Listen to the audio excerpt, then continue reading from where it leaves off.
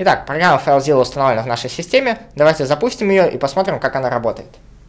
Запустить ее, как и любую другую программу, можно либо из терминала, набрав команду FileZilla, или из меню быстрого поиска.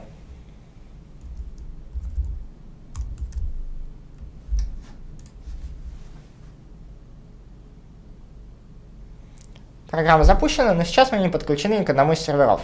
Чтобы подключиться, нажмем на эту кнопку. Теперь нам надо создать конфигурацию для нашего сервера. Назовем его ACE.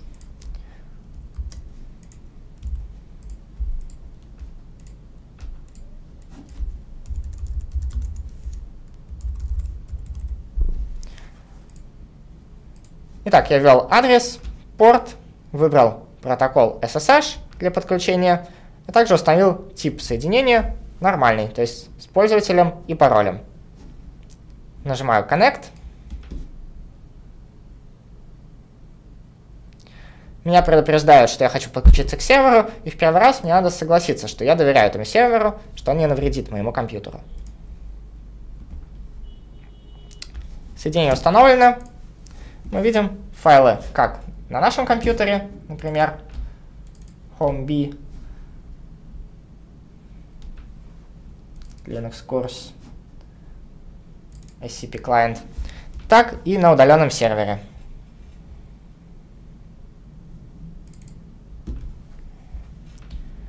Теперь я могу создать новую директорию у себя на компьютере и щелкав на ней выбрать Upload, то есть загрузить на сервер. Аналогично можно выбрать меню Download и скачать какой-то файл с сервера. Можно скачать сразу несколько файлов.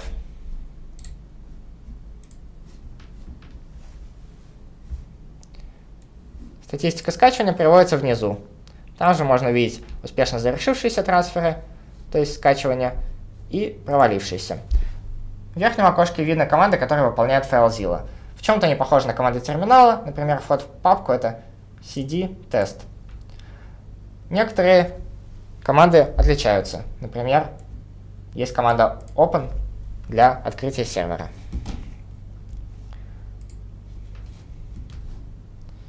Если сервер прерывает систему по какой-то причине, то FileZilla может попытаться его восстановить. Например, были какие-то проблемы, но она их переборола и снова зашла на сервер. Стоит отметить, что можно подключаться сразу к нескольким серверам. Например, я могу установить еще одно соединение в параллельной вкладке с тем же самым сервером, чтобы зайти в какую-нибудь другую папку. Теперь вы можете выбрать наиболее удобный вам способ копирования файлов, либо через графическую интерфейс, например, FileZilla, либо через SCP